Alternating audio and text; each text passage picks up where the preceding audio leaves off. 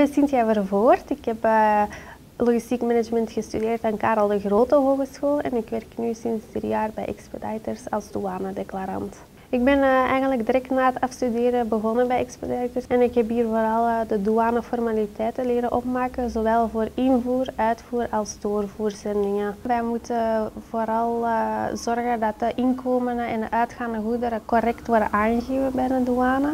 Dus wij verzamelen informatie en wij verwerken die dan zodat we een douane-document of certificaten kunnen opmaken. Dus we krijgen een opdracht binnen en die moet meestal ook diezelfde dag nog in orde zijn, want zonder douane-document kunnen de goederen niet vertrekken.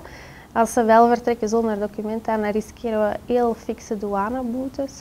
Dus dat is wel de grootste uitdaging om heel de boel op tijd klaar te krijgen. Douane is een hele complexe wereld, maar er verandert ook heel veel. En ik werk hier nu drie jaar.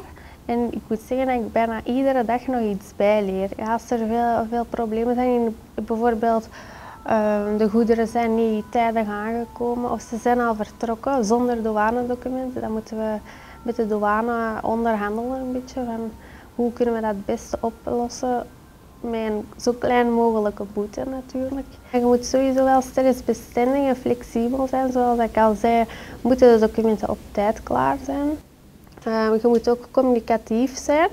Je hebt heel veel uh, contact met verschillende afdelingen binnen in de firma, maar ook extern met klanten en met de douaneautoriteiten. Dus het is wel belangrijk dat je kunt praten met mensen. En het is ook een internationale omgeving, dus het is wel belangrijk dat je ook andere talen kunt dan alleen het Nederlands, bijvoorbeeld Engels of Frans.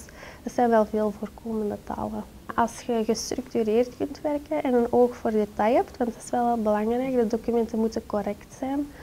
Uh, en je zegt goed met talen, dan is dat wel de uitgewezen job voor uh, te doen. Er zijn ook heel weinig mensen, nog te weinig mensen die douane willen doen. Dus er is heel veel vraag naar douanedeclaranten. Dat is toch wel een grote reden waarom dat je zeker voor douane moet kiezen. Logistiek management is zo'n brede waaier aan mogelijkheden dat je nog hebt. Uh, je kunt alle richtingen nog uit. Zie gewoon naar waar je het liefste doet, waar dat je interesse het meest naar, naar uitwijkt en je vindt wel een job die dat daar uh, bij past.